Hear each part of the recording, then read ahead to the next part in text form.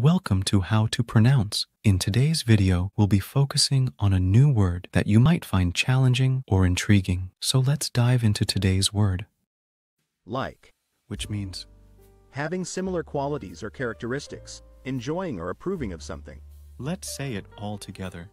like, like, like, One more time.